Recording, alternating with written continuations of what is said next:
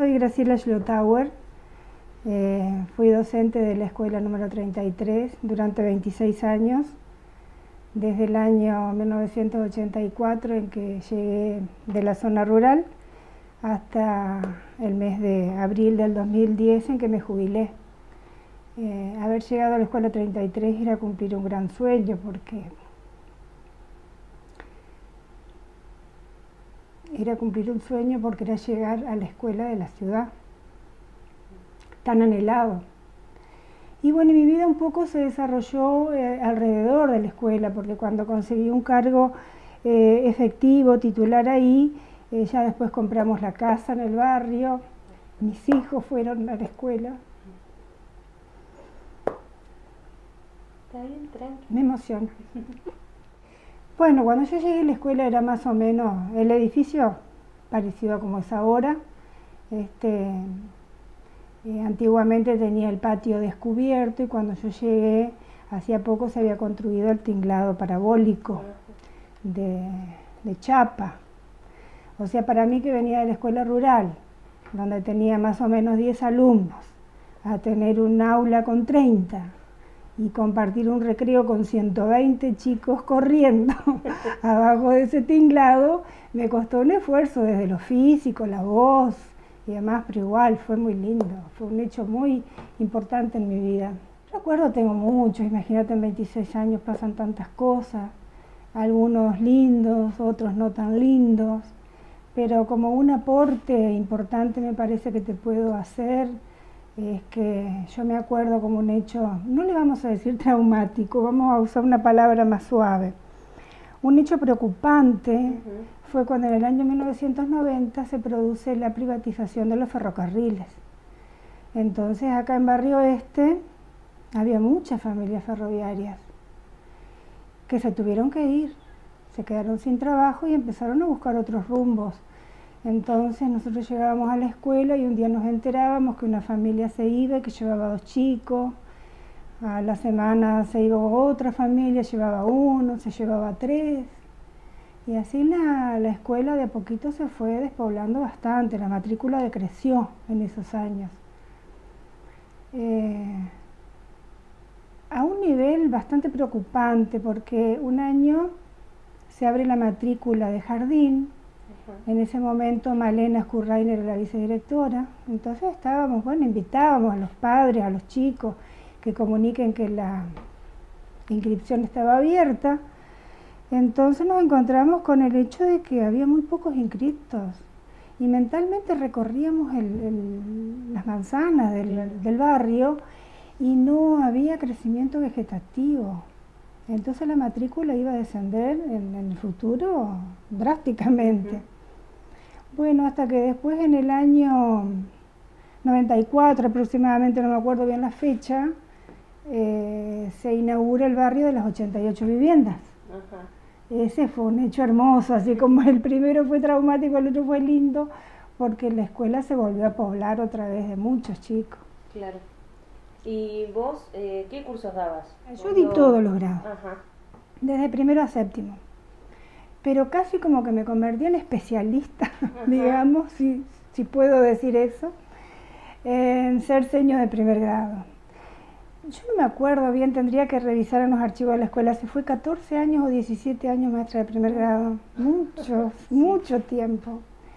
Me gustaba, a mí me gustaba la docencia. Y, y ser maestra de primer grado era una cosa fantástica porque no me largué sola, sino que había una maestra paralela, como que me fue este, acompañando el primer tiempo, que era Nena Quintana y Ñata Furlán.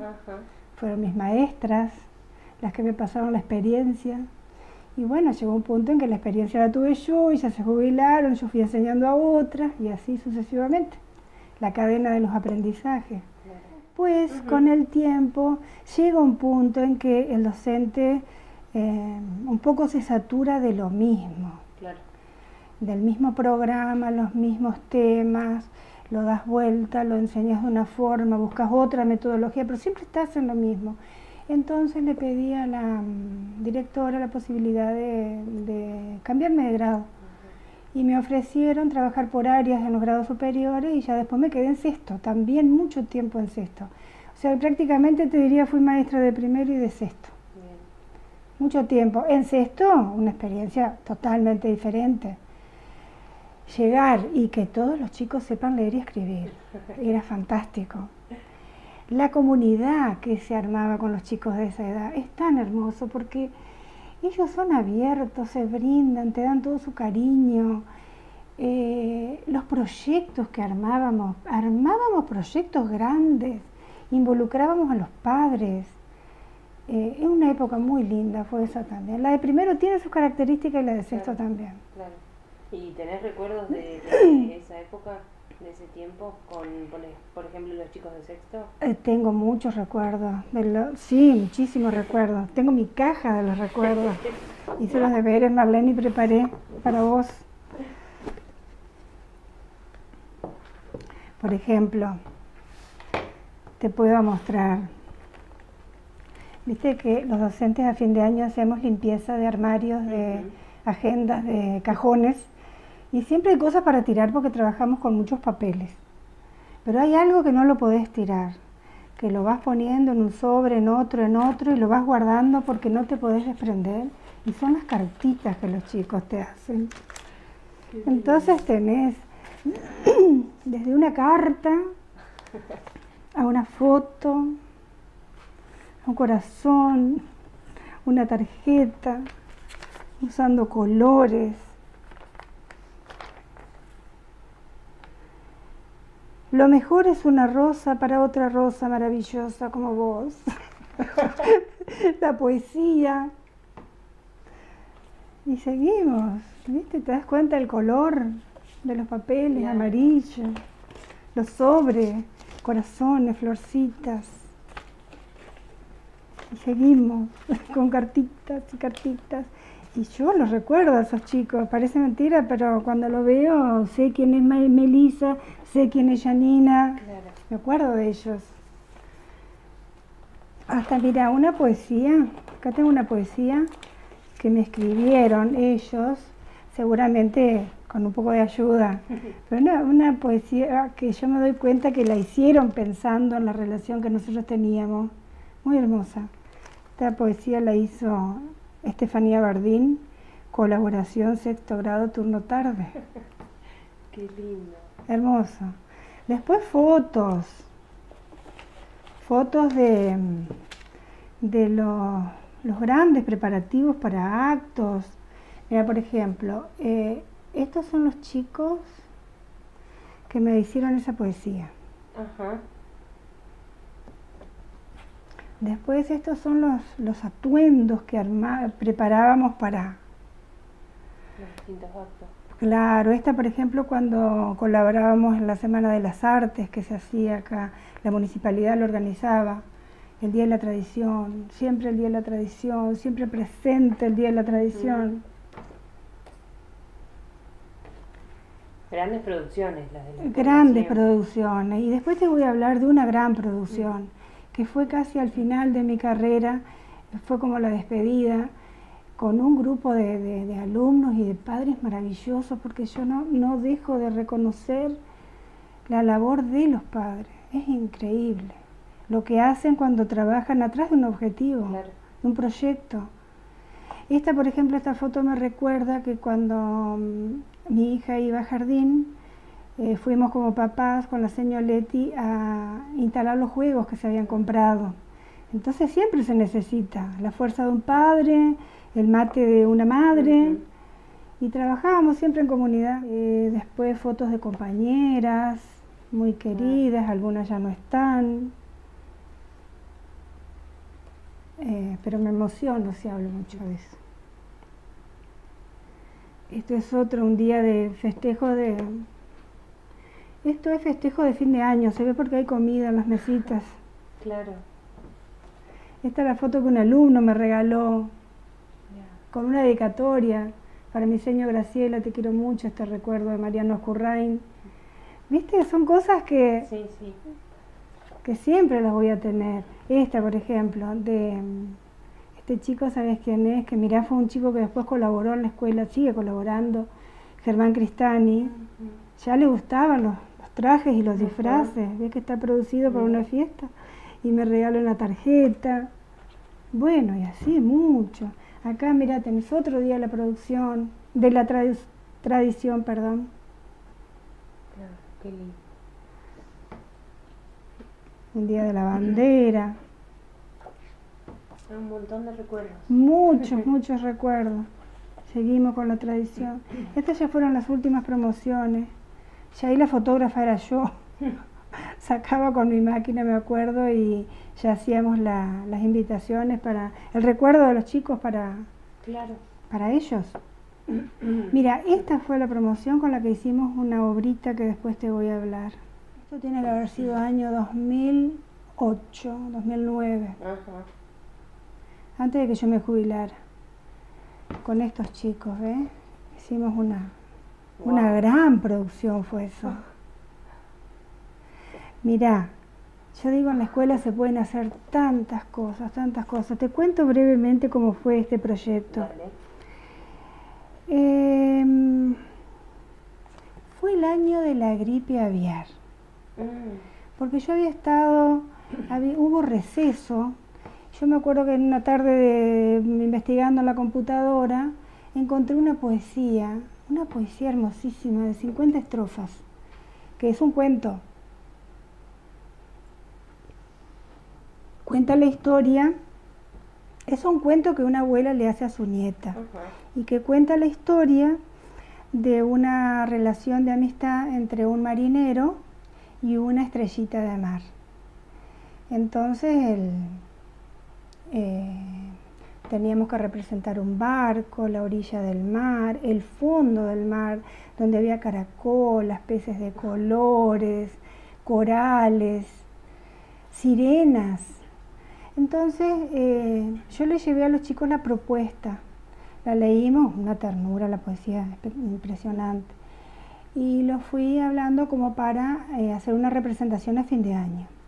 Después lo charlé con mis compañeras, si existía la posibilidad de que fuera número central y que todas nos abocáramos a esa a la representación de esa poesía, a todas nos gustó. Bueno, la cuestión es que nos largamos a la aventura de, desde juntar los fondos, porque esta, esta representación tenía que tener buen sonido, buena música, y eso no podía fallar. Y viste que en las escuelas siempre te falla el equipo de sonidos, siempre, la misma historia, siempre. Entonces nosotros lo teníamos que contratar y necesitábamos fondos. Entonces empezamos a juntar fondos para ese momento. Luego la maestra de plástica fue trabajando con los chicos de distintos grados desde la representación del mar, de acuerdo a Mirta Weigan, desde la representación del mar hasta, venía una compañera y te decía, Graciela, mi vecino tiene un bote que lo podemos convertir en barco, acá está. Después te decía, para la orilla del mar, este, mi papá tiene un trasmayo, te lo puede prestar. Y así fuimos juntando. Venía un papá un día con una bolsa, de eso no me olvido más. Vino un papá con una bolsa de barba de monte, que había juntado en el Gualeguay, entonces sobre los corales y, los, y las rocas poníamos esas cosas. Tan involucrados estábamos. Hasta, mira, ¿sabes lo que usamos para esa obra?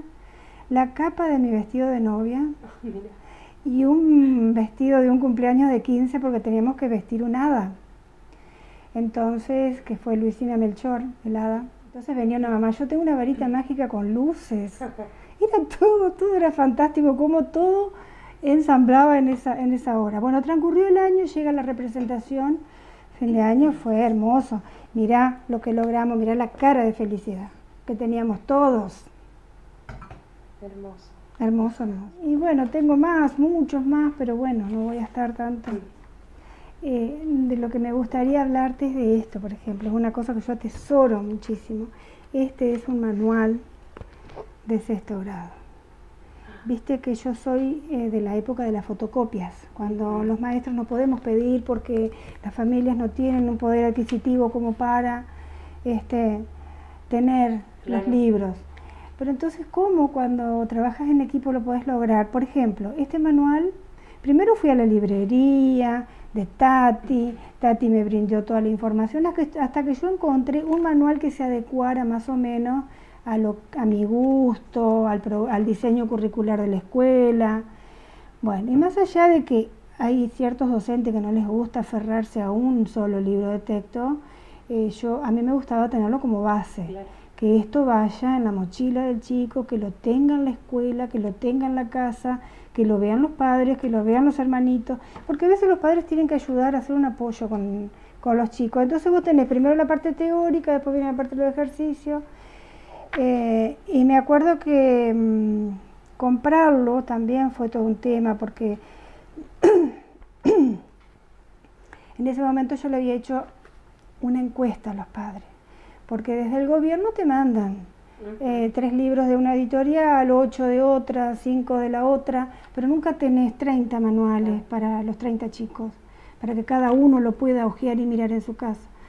Entonces hice una encuesta y le preguntaba a los padres si ellos sabían, si ellos se imaginaban cómo trabajábamos dentro del aula, porque dentro del aula sucedía esto. Juntábamos en grupo de cinco chicos, de cuatro, de tres, poníamos un libro. Entonces, un chico leía de frente, el otro leía de costado, el otro no podía leer. Entonces ese era el trabajo diario. Entonces lo llamé a los padres a una reunión, les pregunté si primero hicimos la encuesta, después lo llamé a una reunión, se dieron cuenta que era importante el tema, entonces vinieron, se involucraron, me ayudaron. Entonces, si de un grupo de 30 chicos vos lográs que 12, 15 puedan comprar el manual, a los otros 15 vos los comprás con la biblioteca, trabajando con la biblioteca. Entonces, lo haces un año, al año siguiente el manual queda en el barrio, el chico lo vende al, al vecinito. Entonces logramos eso, eso que yo valoro muchísimo, por eso este manual lo amo. Bien. Tal vez ya está desactualizado, no sé, pero en mi época a mí me sirvió mucho. Fue una base muy importante. Sí, muy importante. Bueno, y eh, por último, ¿qué mensaje darías a la comunidad de la 33 en este aniversario, en estos 100 años? Bueno, un mensaje podría ser la defensa de la escuela pública, la defensa de la escuela del barrio. Es un hecho tan importante tener una escuela en el barrio, que esa escuela cumpla 100 años, es un orgullo porque te indica, y cada vez que hablo de eso me emociono, perdóname. Que la escuela cumpla 100 años significa que hubo un grupo de personas que lo planeó, que fue un proyecto a largo alcance, que pensaban en el futuro. Una escuela es mucho más que el edificio, los ladrillos, el nombre, la ubicación. Es también el presente. Es lo que hoy nosotros hacemos en esa aparente ingenuidad que tienen los chicos. Y digo aparente porque son muy capaces de un montón de cosas. Si nosotros dirigiéramos bien la enseñanza en valores, si no permitiríamos que se cuele ninguna grieta, ni la del poder adquisitivo, ni la de ni la religiosa, ni la política, o sea, tratar de suavizar todas esas, esas cosas que existen, están, pero no este, incentivarlas, sino suavizarlas de manera que eh, todos podamos crecer en la diversidad. Iguales nunca vamos a ser, pero que podamos aprender uno del otro en la diversidad. Ese sería mi mensaje, mi deseo.